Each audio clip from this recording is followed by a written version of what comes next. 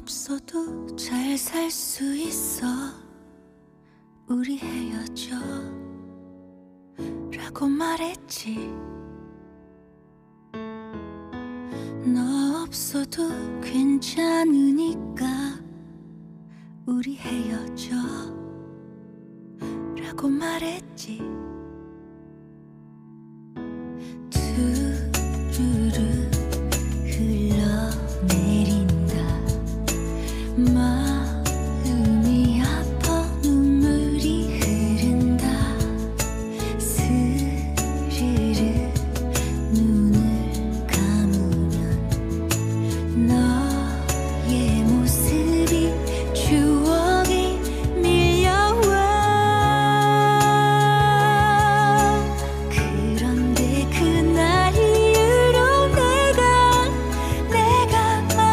就